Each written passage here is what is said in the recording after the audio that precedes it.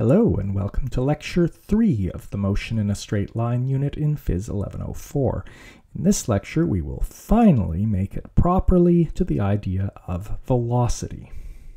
Before we go any further, I want some better data to work with. So here is a setup that you'll become familiar with in the lab. This is a cart on a low friction track, and over here is what we call a motion sensor, which is basically just a little sonar. So it's sending out pulses of sound and timing them to determine the distance to the cart, and the result is going to get graphed up here.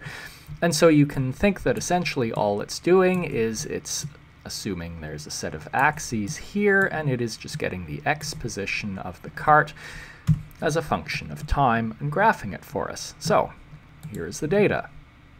And you can hear the motion sensor clicking away, and I'll send the cart back in the other direction. And there's our data, which we can now look at more closely.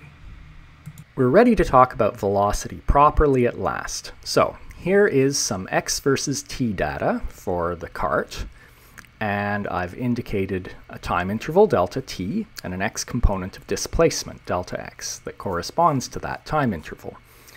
And because the cart was going in the same direction and in a straight line for that whole time interval, that delta x represents a distance traveled. And so we can use it to get an average speed, like so. Just take the delta x, the distance traveled, divided by the delta t the time taken. And that applies to this shaded time interval. But notice what we've done. If you compare that with the graph, that delta x represents the rise of the graph during that time interval. And the time interval itself is the run on the graph. So what we've just calculated is a slope.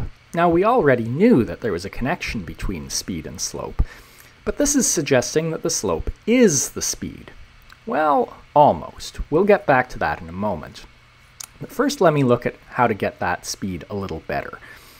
I just read those off the graph, and that was pretty rough because my ability to read the graph precisely is pretty limited. I can do better because I got the data in a data analysis software, and I can use it to get a linear fit, which will give me a better estimate for that slope. So let's use that. Now I can do the same thing using the software to get the slope of this part over here. And note that it's negative. Well, that makes sense. The cart is going the other way, and so the delta x is negative because x is decreasing during that time interval. But notice I haven't called it an average speed. A speed, by definition, is a distance traveled divided by a time taken, and you cannot go a negative distance, so a speed must always po be positive. So this is not a speed. Well, what is it?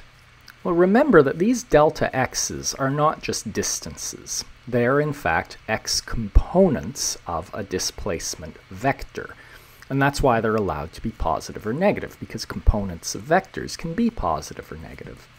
And so what we've just calculated here is the component of a vector the x component of the average velocity vector.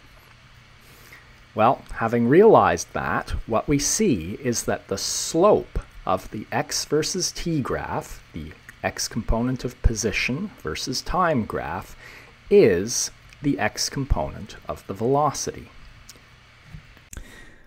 What we've just seen is a key idea that you'll use over and over throughout the course, especially in the lab, and so I want to make sure you've got it. So here is a position versus time graph, and we're going to use it to get the x component of the velocity at t equals 1 second. So if you're doing this through Moodle, Moodle will now ask you this question, otherwise you should still try and answer this before you move on.